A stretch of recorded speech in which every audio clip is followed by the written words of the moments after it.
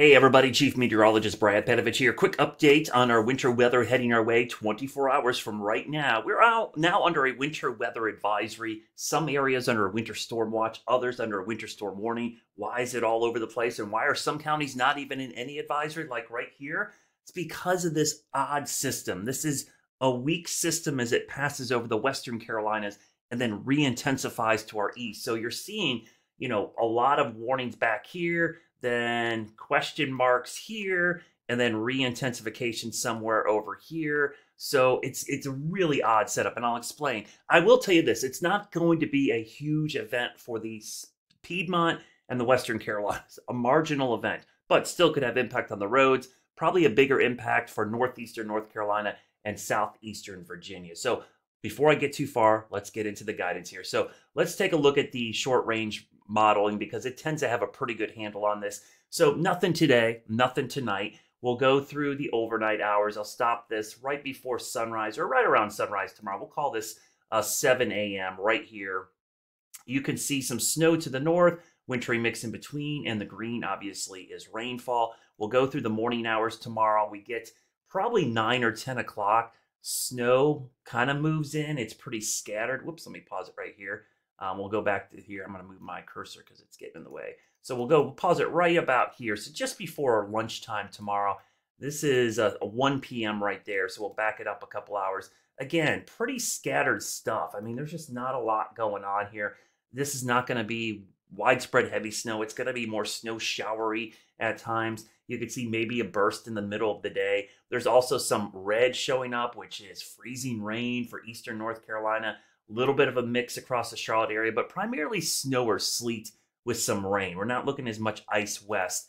Um, we'll go through the afternoon. The ice really gets uh, becomes a problem here in southeastern part of the state and east central North Carolina. Snow back here, but notice a little bit of pink here. So it's not going to be all snow, but primarily snow and sleet back to the west.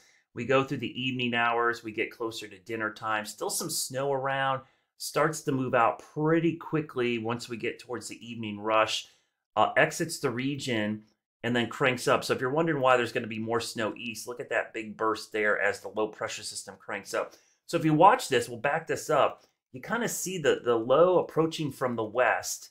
Looks pretty good there. And then what's going on here, you're probably asking. Well, what happens in these, what we call a Miller A setup, the energy here is pretty strong. And what happens is the energy gets transferred to the coast where then it reforms and intensifies and starts pulling in more moisture. So what happens is somewhere in here, there's a gap in the energy and precipitation. I've seen this happen a couple times. The hard part about forecasting is you don't know when that's going to happen. And also, when the low starts cranking up, sometimes it's close enough that it throws moisture back into the Charlotte area. So that's why there's so much uncertainty in this. We're going to see some kind of shifting of the energy from inland to the coast, and that could happen anywhere over the Carolinas. But either way, there's going to be some precipitation. It's just a matter of how much.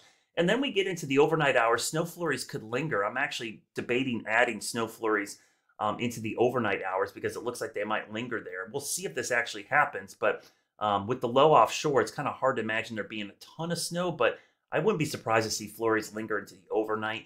And then you see we go into Thursday morning and a little burst of snow there possibly before it all exits. I think that's why you're seeing the winter weather advisory last through noon on Thursday because there could be lingering overnight issues with freezing rain, drizzle, and mist across the area. So let's go back to the advisories here real quickly and I'll get up to the update map. So this is my latest map as of 9 a.m. this morning, a trace to an inch across most of the Piedmont. I think that's going to be the primary amount I'm, I'm hard pressed to go higher. One to two, even this area could be a little questionable. So there's a lot of questions right here. Looks more like a more of a sure thing right in there. And that's why you're seeing the advisory. So don't expect a huge amount of snow. Trace to an inch. If it does fluff up or become more widespread, then maybe we could get to one to two inches across our area. That's a zoomed in look. I actually pushed the one to two further north. So uh, I really think it's going to be a trace to an inch right now. It just does not look like it's going to be overwhelming. Now, ice, ice potential. Obviously, this is the area I'm watching. You saw that in the guidance and in, in, the short range guidance. There's certainly an area right there where we could see some, um, I wouldn't say power outage ice, but enough that there's going to be slick spots.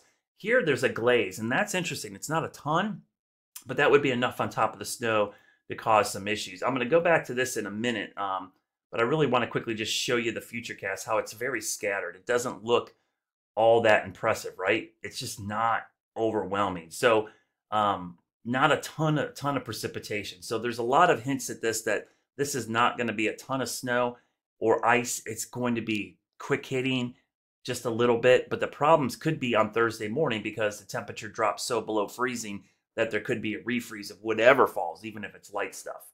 So, real quick look at the impacts. Uh, even though there's not a ton of precipitation on the way, you notice that we're kind of in this yellow area across the Piedmont. That's primarily because of travel, road impacts. I mean, um, I think the thing I, it's hard to communicate to the public is people expect a winter wonderland and they expect snowmen and snow all over.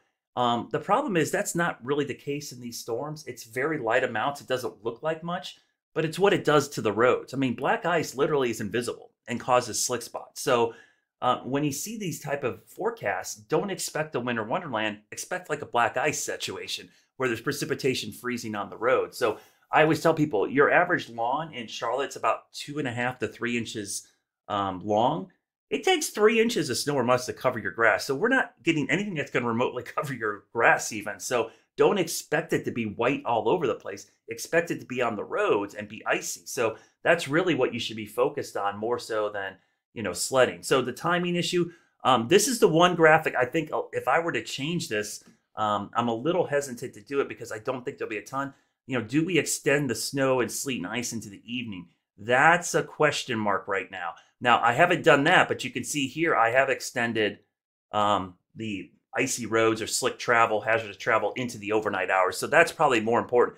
Don't focus on that because um, even if it's not falling from the sky, there's going to be issues here. This should be your number one issue right here. And even that is not an issue during the day because it's daylight. After sunset is probably when we run into issues. Um, I'm probably the last person to ask about travel in general. I can tell you it's going to be icy.